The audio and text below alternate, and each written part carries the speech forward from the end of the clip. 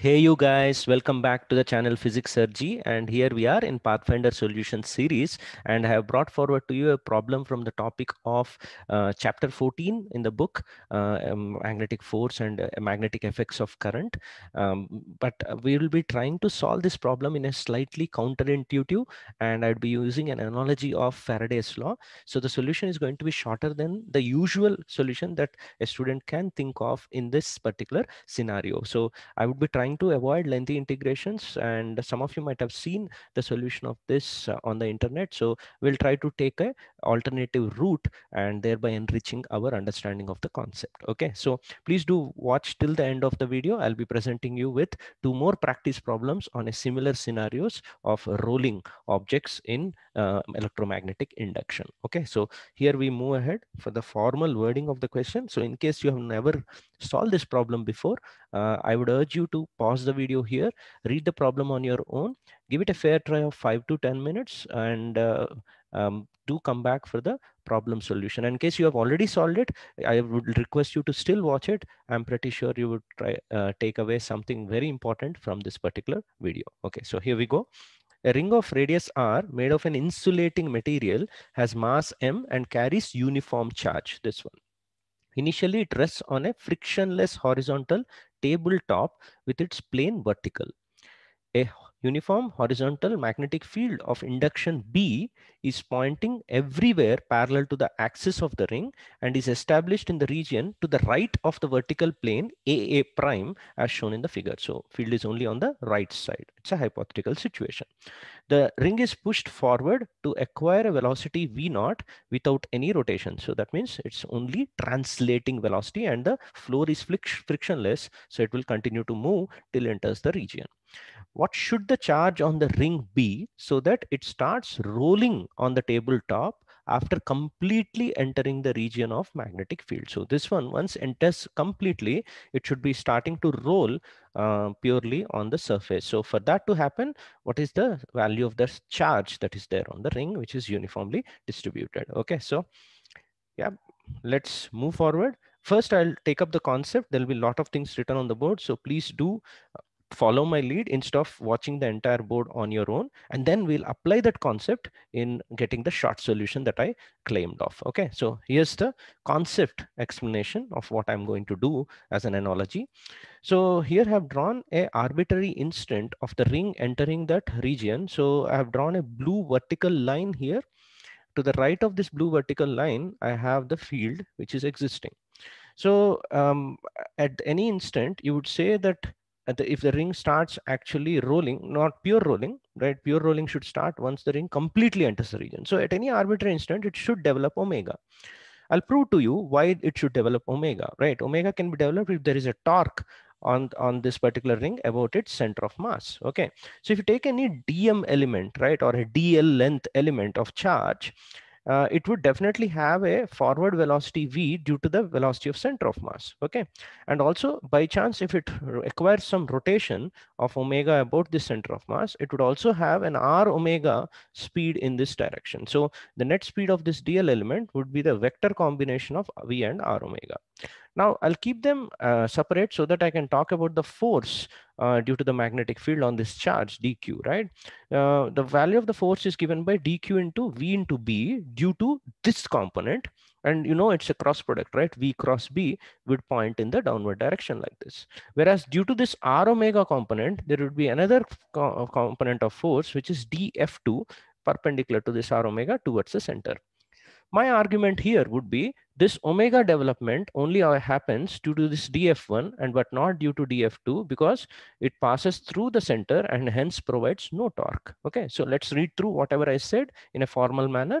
As the ring moves, each dl element present in the field, dl is this small arc here, experiences a force with two components, df1 in this direction due to the v velocity and df2 due to the r omega speed okay? Now df1 is solely responsible for the torque that causes the change in this omega okay? Right. The tangential component of this df1 which is the torque producer remember this df1 i can further divide it into two components one towards the center and one tangential okay? That df1's tangential component i'm writing it as df1 subscript t, this should be writable as some dq into et. I know its df1 is actually written in this form. So I'm considering this v into b as a uh, analogical uh, electric field okay right? So that et is in this particular direction according to me.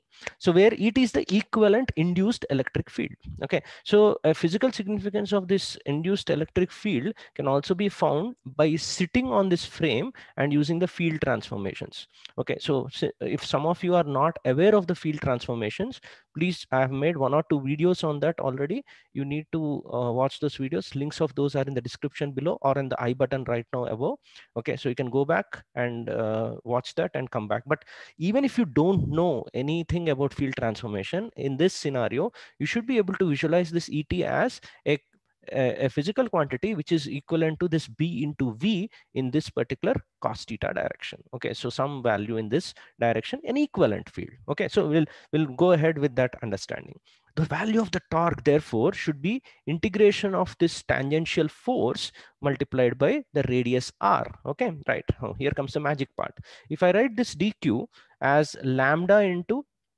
the rd theta of this particular thing, right? So dl, right? So the lambda into dl, dl stays inside. Let me keep it inside. r comes out along with this lambda. I end up getting this beautiful integral called integral et dl.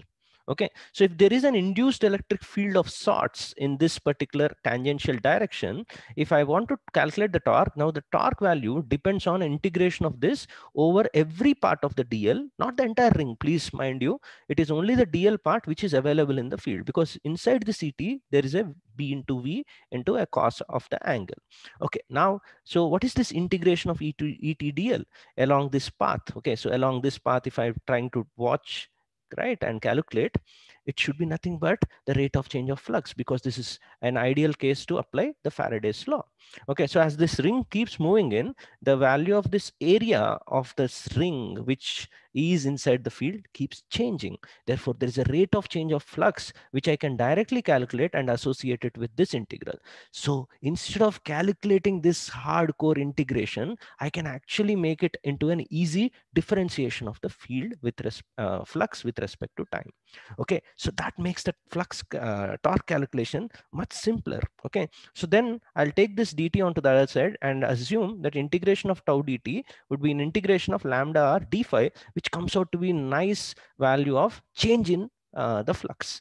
So if I want to calculate the torque over the entire period, we call this left-hand side as the angular impulse, which is responsible for changing the angular velocity or angular momentum of the ring. It would be nicely in one step related to the change in flux of this magnetic uh, field on, and the ring association.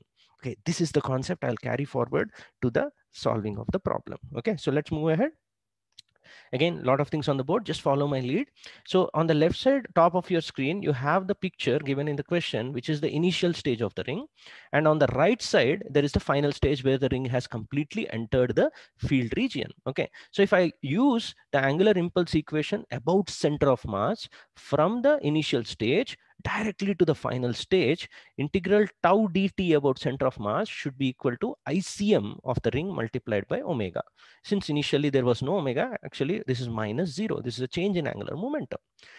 Already from the previous page, we realized integral tau dt is simply equivalent to lambda r delta phi. I substituted from the previous page and ICM is mr square into omega right? So lambda is q divided by 2 pi r right? And delta phi is B into pi r square, right? The entire magnetic field was uniform, so there was no need for the integration here too. So when you rearrange, you end up getting a simplistic relation, QB divided by 2m is the final angular velocity of this particular ring. Keep it aside. Now you can use the mechanical energy analysis also. As we all know, on the FBD of this diagram of the ring, there are only magnetic forces and they don't do work. Therefore, the pure translational kinetic energy in the initial stage should kind convert to the pure rolling kinetic energy in the final stage. And those two kinetic energies should be equal to each other. Okay, remember there is no other forces. Friction was not acting, normal reaction and weight don't do work. Okay, so the half mv naught square of this stage should be equal to half into 2 mr square into omega square. Okay, so this is written about ICR at the bottommost point. Okay, or you can write it as half mv square plus half ICM omega square and then again use v is equal to r omega. In either way, you should be able to write the total energy while rolling. So this first equation in which omega is there and the second equation in which omega, you just substitute this for omega here and eliminate omega from 1 and 2, you end up getting the expression for the charge in this manner. I know you might be thinking I claim that this is a short solution and I have explained it so much. Please understand, once you understand this integral tau dt equal to lambda or delta phi, which I took time to explain, I think this is going to be a very short solution and nowhere I have actually integrated uh, during the solution. Okay, so I hope you enjoyed the way the problem was presented to you. And in case you want to have a practice of uh, electromagnetic induction, induction problems, there are beautiful problems in the book of Pathfinder. So here's the practice problem number one okay from the topic of emi and ac okay build up your understanding 43 and a slightly more complicated problem right but still well within the JEE advanced uh, situations and indian olympiads. Okay so this is a nice practice for your IOQ in february and this is from check your understanding fourth problem. So these two problems i'll come up with the solutions very shortly uh, in the pathfinder solution series. Okay so in case you want to check out the rest of the pathfinder solution series the link of the playlist is in the description below along with the other running parallel series in the channel which are olympiad workout series where i do solve the previous uh, different uh, national and international olympiad problems that are important for your preparation. And also aits select series for JEE aspirants from the different institutes, uh, All India Test Series papers, select problems, and also result series which cater to the needs of the students whose doubts generally don't get answered properly in textbooks and all the toppers that have been involved with uh, the uh, doubts of those students, which enriches our subjects equally. Okay, so all these links are in the playlist uh, and the, those links are in the description below. So please make sure you go through them. Uh, uh, please do like this video in case you have gained something from it. Liked videos are pushed by YouTube algorithm to more audience and thereby helping me uh, to gain more subscribers. And please do share this content with relevant Telegram and WhatsApp study groups that you are part of. And um, ensure uh, that I get more subscriptions. So, and also in case you're new to this channel, I would request you to watch three or four videos per day, uh, especially if you're a JEE aspirant. And uh, within a few days, you'll start liking my channel and the content and the uniqueness with which it is present, presented. And um, I'm, I'm pretty sure you would definitely subscribe to my channel. Okay, so thanks for staying this long with me and see you in the next video.